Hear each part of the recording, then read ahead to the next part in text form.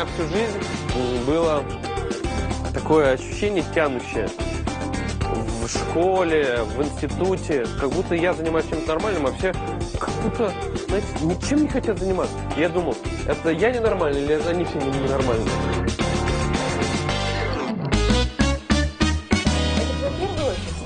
Нет, конечно. Офис первый был в кафе Мясницкой, а потом был офис на Малоникитской, потом был офис на Маяковской, 300 квадратов. Следующий это здесь 650. Ну, это, это класса, это хороший офис, большой. То, что я делаю, для меня это игра. Мне очень нравятся вот, этот- вот эти окна, и мне нравится вот этот промышленный вид.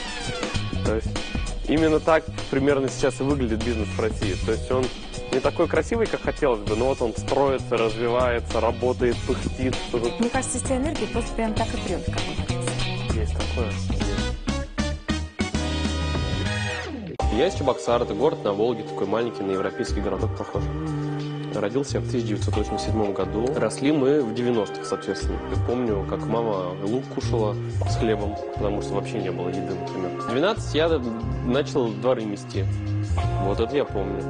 До этого бутылки сдавал. Родители кормили, поили, было где жить, а на свои желания, ну, надо было самому. Было всегда стремление не сидеть на месте, что-то что делать, предпринимать.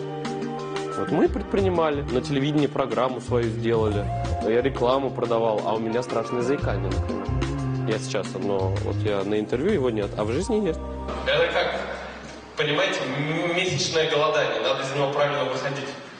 Потому что вы погрузились сейчас Ну вот ты приехал в Москву, тебе 17 лет. Что было дальше? Ты пошел учиться? Конечно, естественно. Шесть университетов я поступил. Ты где ты учился в Москве?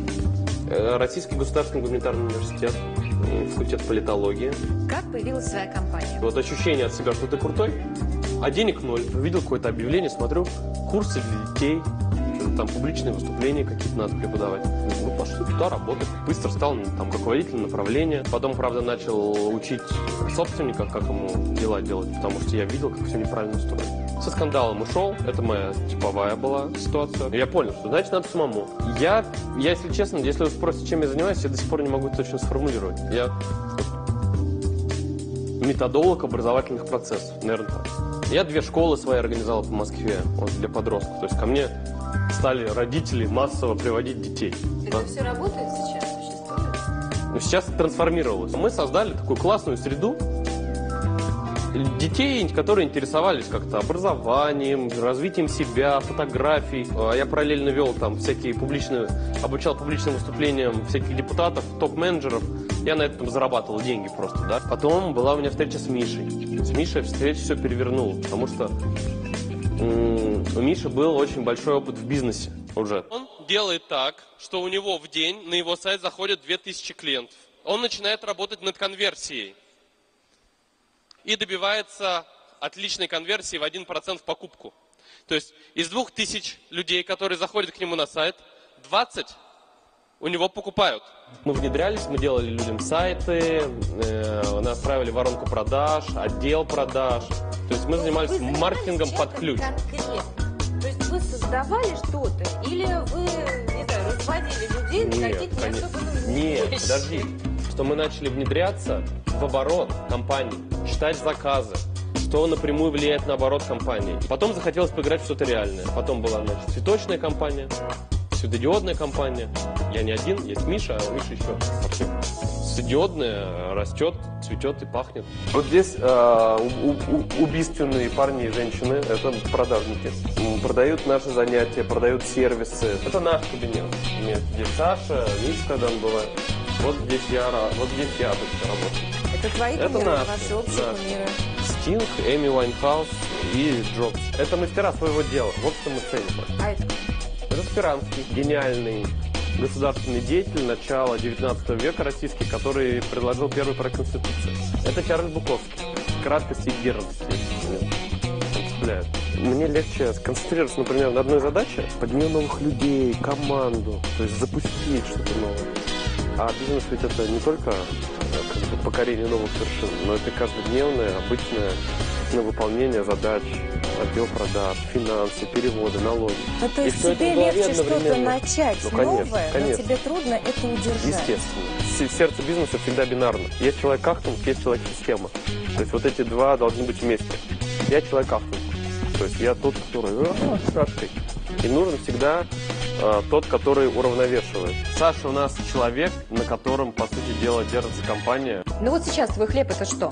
Образовательные курсы по бизнесу. И к нам очень много приходит людей уже с, с бизнесами, которые новички. Объясни в общем и целом, а, что за тренинги ты ведешь? Это такая обучающая система, состоящая из многих компонентов. Это и встреча с наставниками, и встреча в группах, и еженедельные задания, которые люди делают, и тренинги тоже. И за два месяца 21, 23,6% наших участников зарабатывают больше 100 тысяч рублей чистыми на своем деле, которое они выбрали. Это и опт, а, и строительство, и детские праздники. Ниц Гнесин, композитор, что делать? Мы начали с реальных вещей, то есть привлечение клиентов. И отбили вложения свои в размере 300 тысяч а, в первый месяц.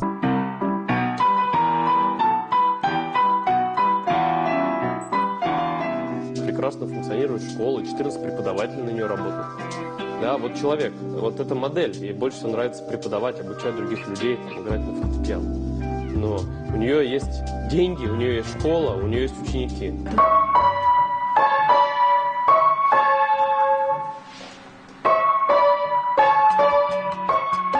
У вас на сайте в разделе «Наша философия» есть э, такой постулат. Мы производим людей, которые думают иначе. Как можно вот производить людей? Когда человек становится из, думы, э, из такого, из рефлексатора деятеля, когда он зарабатывает там первые ставит 150 тысяч рублей с нуля или начинает нормально управлять своей компанией и понимает, что он не жертва обстоятельств, а то, что он сам создает все, что вот есть, он думает иначе. А что, любого человека ты можешь э, убедить в том, что он э, способен на большее? Нет. А не любой спрашивает. Вот был какой-то страх, какое-то стеснение. Что ты испытывал? Панический страх. Всегда. Сейчас страх есть, когда ты выступаешь перед аудиторией? Перед новой аудиторией всегда есть, конечно. Вот что я умею делать? Знаете, я умею брать практику бизнеса, ту, которую мы изучили, ту, которую мы прошли на собственном опыте, и объяснить человеку это на пальцах. На раз, два, три, еще и с юмором. Кстати, кто из вас работал по найму? А кого из вас это бесит? Вот вы и дураки. У вас то же самое в бизнесе будет.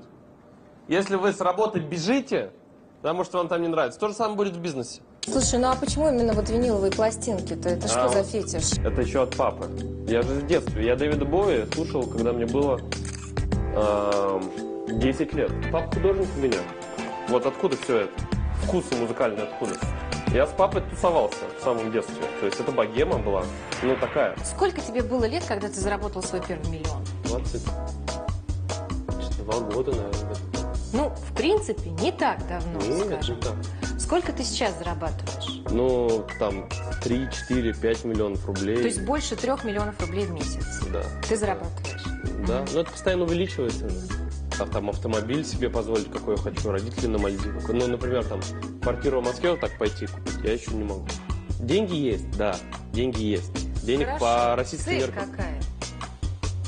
Для начала, после того, как ты себя обеспечил, надо первое окружение свое. То есть это мама, папа, родители. Не только там деньгами, но и вот жизнь как-то организовать. Я потом хочу, чтобы у отца туристическое агентство было. Он, он начал увлекаться. Он художник, но вот он не рисует давно.